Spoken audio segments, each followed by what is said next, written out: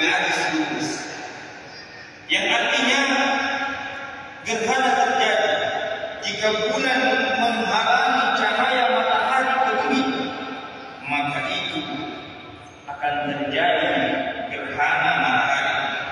Dan jika bumi menghalangi cahaya matahari sampai ke bulan maka akan terjadi yang namanya gerhana bulan sebagaimana yang kita lalui pada saat ini. Ma'asyiral muslimin, sidang jamaah salat gerhana yang dimuliakan Allah. Itulah fenomena alam yang kadang terjadi dan bukti kekuasaan Allah Subhanahu wa taala atas segala makhluknya. Allah berfirman, "Huwa alladhi ja'ala asy-syamsa diya'an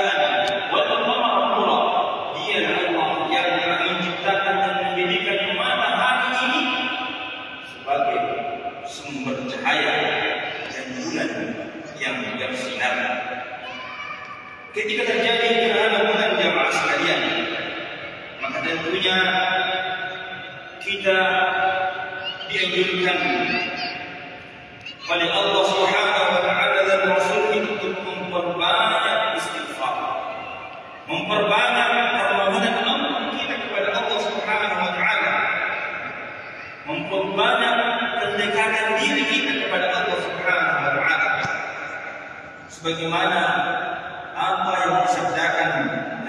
صلى الله عليه وسلم إن الشمس والقمر آيتان من آيات الله.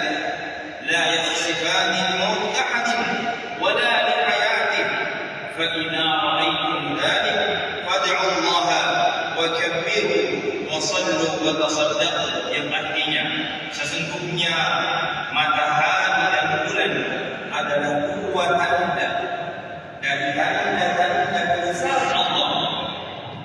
dan tidak akan mengalami gerhana disebabkan karena mati atau hidupnya seseorang. Jika kalian melihat gerhana, maka banyaklah berdoa kepada Allah, bertakbirlah, dirikanlah salat dan bersedekahlah. Pada saat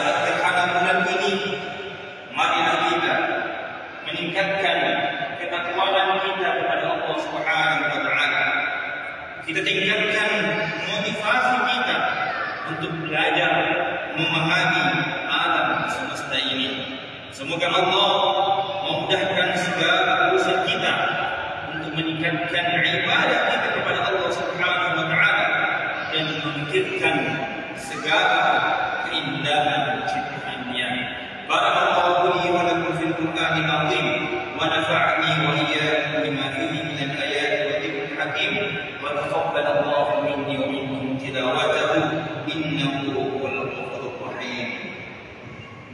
Alhamdulillah ala ihsanih والشكر له على توفيقه وامتنانه.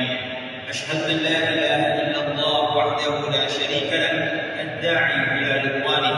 اللهم صل وسلم على سيدنا محمد وعلى آله وأصحابه تسليما كثيرا.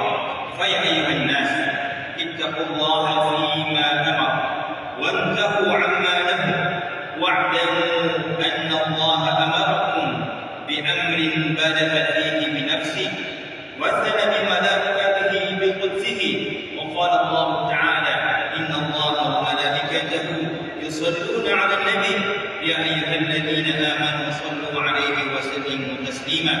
اللهم صل على سيدنا محمد صلى الله عليه وسلم.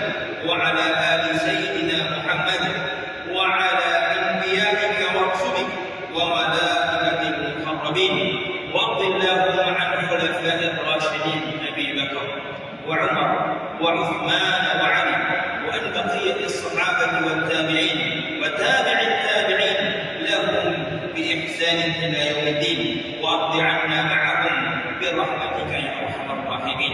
اللهم اغفر للمسلمين والمسلمات والمؤمنين والمؤمنات الأحياء منهم والأموات. إنك سميع قريب مجيب دعوة يا قاضي الحاجات. اللهم أرنا الحق حقا وارزقنا اتباعه. وأرنا الباطل باطلا وارزقنا اجتنابه. ربنا لا تزغ قلوبنا بعد إذ هديتنا وهب لنا من لدنك رحمة إنك أنت الوهاب. ربنا ظلمنا أنفسنا وإن لم تغفر لنا وترحمنا لنكونن من الخاسرين. ربنا آتنا في الدنيا حسنة وفي الآخرة حسنة وقنا عذاب العزة عما يصفون وسلام على المرسلين وصلى الله على نبينا محمد والحمد لله رب العالمين. والسلام عليكم ورحمة الله وبركاته.